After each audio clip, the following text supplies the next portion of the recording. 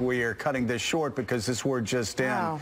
Uh, that director, uh, Mike Nichols, uh, acclaimed director Mike Nichols has passed away. He, of course, directed some of the most enduring movies in American cinema, including The Graduate, Working Girl, Annie, Birdcage. The Birdcage, so many more. He's one of the few people to earn an EGOT, an Emmy, a Grammy, an Oscar, and My a Tony God. Award, and of course, uh, Al Hunt, he was married to ABC News anchor Diane Sawyer. He passed away suddenly last night.